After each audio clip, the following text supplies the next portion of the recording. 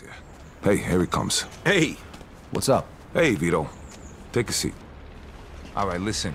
I've been doing some research into Carlos' business. so?